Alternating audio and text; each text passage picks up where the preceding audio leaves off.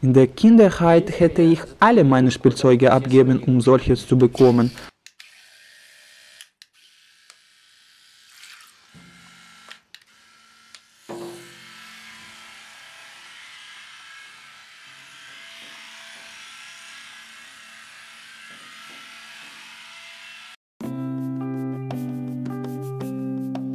Hallo und herzlich willkommen. Heute ist mit euch Vitali und heute schauen wir mal, was das Mini-U-Boot kann. Der vorderste Vorteil der Submarine ist ihre Preis. Sie kostet nicht teuer. Das Link des U-Bootes konntet ihr in der Beschreibung des Videos finden. Das ist eine Fernbedienung von ihr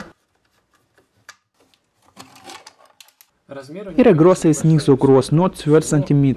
Drinnen befinden sich drei Motoren, 1, 2, 3 und der dritte Motor ist für das Eintauchen verantwortlich. Ich möchte es nicht auseinandernehmen, weil es in dieser Stelle vollkommen zugeklebt ist. Die Fernbedienung braucht vier Batterien und hier an der Seite befindet sich ein Fach, wo der Draht des Steckers ist, womit wir das U-Boot aufladen können. Im U-Boot ist ein Akku. Wenn wir den Schnabel herausziehen, ist es schon betriebsbereit. Und jetzt stecken wir unser Ladegerät hinein.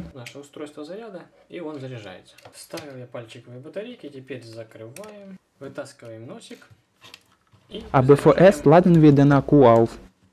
Während der Aufladezeit fülle ich die Badewanne mit dem Wasser an, bis zur Ende.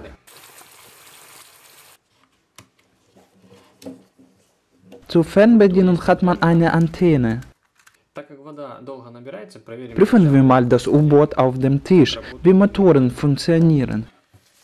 Итак, ага, необходимо сразу включить. Так, ну, повороты Kurven vorwärts, rückwärts und hier ist das Eintauchen.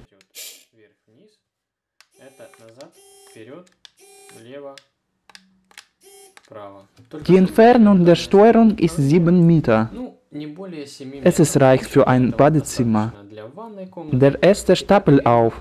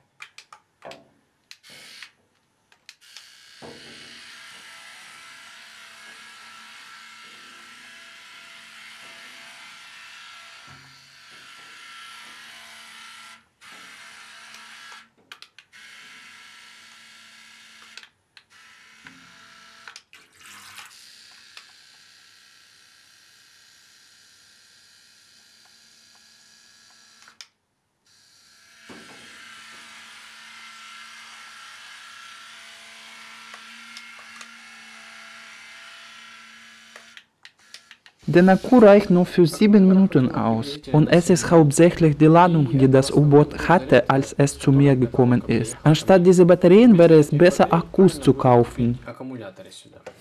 Im U-Boot ist ein Lenker, der Mechanik ist und nicht mit der Fernbedienung zu tun hat. Das U-Boot kann selbstständig während des Betriebes eines oder zweites Propellers abbiegen.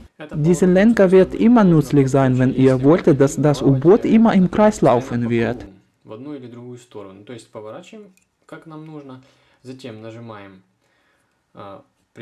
Ich bin zufrieden mit dem Einkauf. Das U-Boot ist das Geld wert. Es würde cool, wenn die zwei Personen mit solchen U-Booten spielen können. Aber wenn man zwei Boote steuert, dann kann man nur mit einer Fernbedienung sie steuern weil die Frequenzen sind gleich. Was denkt ihr, wie kann man diese Probleme lösen? So, liebe Freunde, wenn das Video euch gefallen, lasst mal einen Kommentar mit eurer Meinung über dieses U-Boot, abonnieren und nicht vergessen ein Like zu stellen, um in der Zukunft was Interessantes zu sehen. Ciao!